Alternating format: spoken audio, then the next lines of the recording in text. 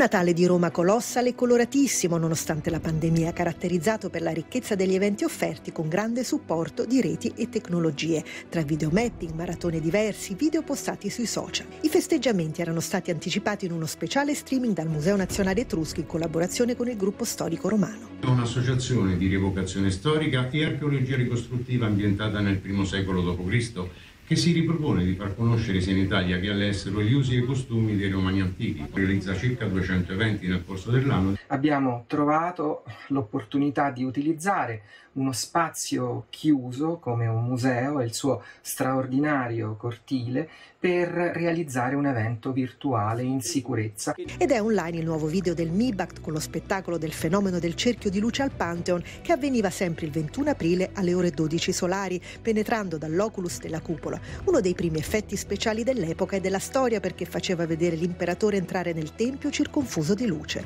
E poi una maratona in versi romaneschi con tanti personaggi del mondo dello spettacolo. Il video di Romaison ha invece raccontato moda, costume e cinema influenzati dal mito romano. Infine una visita guidata straordinaria a cura della sovrintendenza capitolina dei tratti dei camminamenti riqualificati delle mura aureliane che erano diventati studi d'artista e cenacoli culturali, un elemento caratteristico del sempre sorprendente paesaggio urbano della capitale.